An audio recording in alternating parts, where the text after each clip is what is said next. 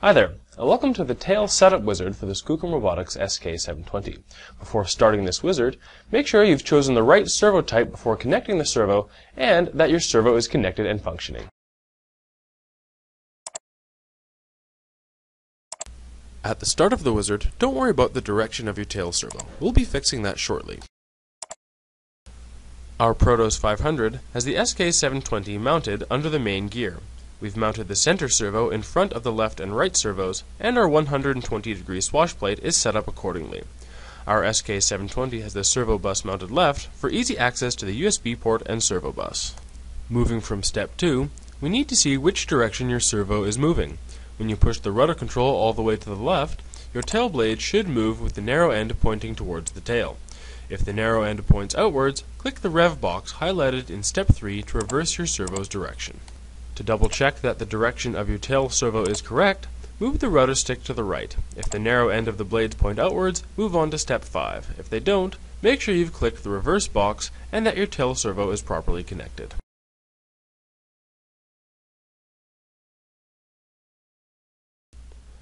Next, click the Setup Tail Servo button to put the servo into setup mode. Once you've clicked this, adjust your servo using the rudder stick until the servo arm is 90 degrees to its linkage and click Center. Once you've done this, mechanically adjust your linkage so the tail blades give 0 degrees of pitch. A smart method for measuring tail blade pitch involves folding the blades so they face the same direction. If the blades line up, they're at zero pitch. If they don't, adjust your linkage until they are. It's better to mechanically adjust the linkage than to adjust the tail servo's trim to achieve zero pitch, since it gives the tail blades even travel in both directions.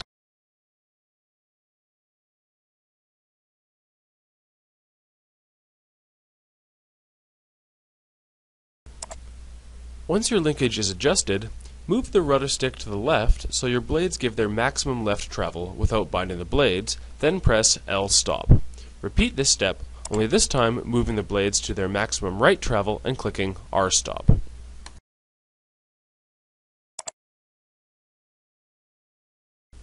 Our last steps will set up the gains on the tail gyro. First, choose a channel on your transmitter to switch between banks of tail settings. The blue bar on top of the tail tabs indicates which switch position applies to each bank of settings. You can change the bank each switch position controls by reversing the channel on your transmitter. Next, set your tail gain by setting the servo travel endpoint on your transmitter. Here, you can see the gain level change in real time as I adjust my transmitter. As well, you can also set a locked gain setting by checking the Lock Tail Gain box and moving the highlighted slider to your desired setting. A locked gain setting means you don't have to set anything on your transmitter and can also free a channel on your transmitter for other uses. That's all for our tail setup wizard. Stay tuned to our next video for our final wizard covering the throttle setup.